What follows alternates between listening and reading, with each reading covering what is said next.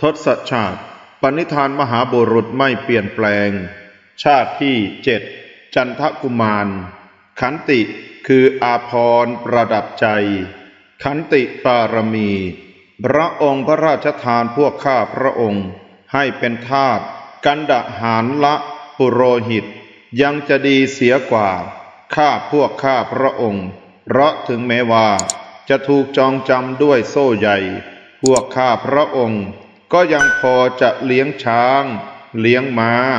ขนขี้ช้าง ขี้ม้า ให้เขาได้ หรือหากจะถูกเนรเทศออกจากแว่นแปนพวกข้าพระองค์ ก็ยังเที่ยวขออาหาร เลี้ยงชีวิตได้ ยานวชิระ พระราชจิตจาภรณ์เทิดยานวชิโร พระเทวทัตได้เข้าไปเฝ้าพระพุทธเจ้า ทูลขอข้อวัดปฏิบัติอย่างอุกฤษเพื่อให้พระบรมศาสดาบัญญัติ ให้ภิกษุสงฆ์ปฏิบัติตามอย่างเคร่งครัด ข้อวัดปฏิบัตินั้นมีห้าประการคือหนึ่งภิกษุทั้งหลายไม่พึงฉันปลาและเนื้อตลอดชีวิต 2. ภิกษุทั้งหลายพึงอยู่ป่าเป็นวัดตลอดชีวิต 3. ภิกษุทั้งหลายพึงเที่ยวบินตบาตเป็นวัดตลอดชีวิต 4. ภิกษุทั้งหลายพึงใช้ผ้าบางสกุลเป็นวัดตลอดชีวิต 5. ภิกษุทั้งหลายพึงอยู่โคนต้นไม้เป็นวัดตลอดชีวิต พระพุทธองค์ตรัสห้ามพระเทวทัตพร้อมให้เหตุผลว่า ทรงอนุญาตปลาและเนื้อที่บริสุทธิ์สามประการคือหนึ่งไม่เห็นว่าเขาฆ่าเพื่อตนสองไม่ได้ยินว่าเขาฆ่าเพื่อตนสาม ไม่สงสัยว่าเขาฆ่าเพื่อตนสำหรับการอยู่ป่าตลอดชีวิต การเที่ยวบินตบาตตลอดชีวิต การใช้ผ้าบางสุกุลตลอดชีวิต ทรงอนุญาตให้ถือข้อวัดปฏิบัติเหล่านี้ ตามปฏิปทาของตนเองเป็นที่ตั้ง ภิกษุรูปใดต้องการถือปฏิปทาการอยู่ป่าเป็นวัด เที่ยวบินทบาทเป็นวัด หรือถือผ้าบังสุกุลเป็นวัด ก็ให้ปฏิบัติตามนั้น ใครไม่ต้องการก็ไม่ต้องปฏิบัติสำหรับประการสุดท้าย ทรงอนุญาตให้ภิกษุอาศัยโคนต้นไม้เป็นเสนาสนะ ได้เพียงแปดเดือน นอกฤดูฝนเท่านั้น เนื่องจากการอยู่ป่าในฤดูฝน จะทำให้ภิกษุสงฆ์เกิดความลำบาก ที่จริง พระเทวทัตก็รู้ว่า อย่างไรพระพุทธเจ้าก็คงไม่ทรงอนุญาต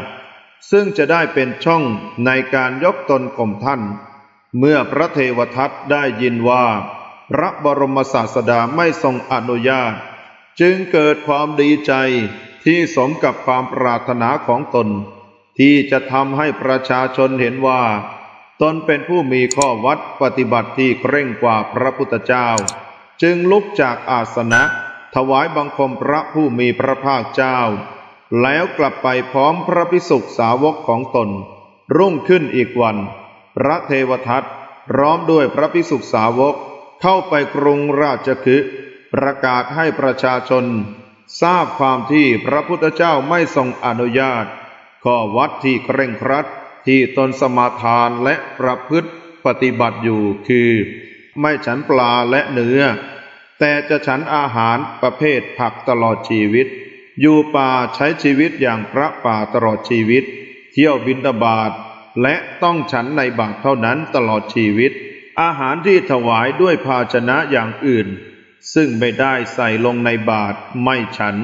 ใช้ผ้าปังสกุลตลอดชีวิต ถ้าผ้าที่ชาวบ้านถวายไม่ใช้ และอยู่โคนต้นไม้ตลอดชีวิตคำประกาศนั้นทำให้ประชาชนที่เบาปัญญา เข้าใจว่าพระเทวทัตเคร่งครัด ส่วนพระพุทธเจ้ามักมาก คิดแต่ความสะดวกสบาย และทำให้พระภิกษุบวชใหม่ ที่มีปัญญาน้อย ยังไม่รู้ทั่วถึงพระธรรมวินัยพากันหลงเชื่อยอมตนเข้าเป็นพักพวกจำนวนมาก เมื่อพระพุทธเจ้าทรงทราบ ให้พระเทวทัตมาเฝ้า รับสั่งถามเรื่องที่เกิดขึ้น พระเทวทัตรับว่าจริงตามนั้น พระพุทธเจ้าจึงตรัสว่า เทวทัตเธออย่าพอใจ การทำให้สงเกิดความแตกแยกเลย เพราะการทำให้สงแตกแยกมีโทษหนัก ผู้ใดทำให้สงแตกแยกย่อมพบแต่ความทุกข์และหมกไหมในนรกชั่วกับชั่วกัน พระเทวทัตไม่ได้ใส่ใจ โอวาทของพระพุทธองค์พลุนพลันไปจากที่นั่น เช้าวันต่อมา พระเทวทัตพบพระอานนท์ขณะกำลังบินดาบาตได้บอกความประสงค์ของตนว่า อานนท์นับตั้งแต่วันนี้เป็นต้นไป ผมจะแยกทำอุโบสถสังฆกรรมจากพระผู้มีพระภาคเจ้า แยกจากภิกษุสงฆ์เมื่อพระอานนท์กลับจากบินทบาท ได้นำความนั้นกราบทูลพระพุทธเจ้า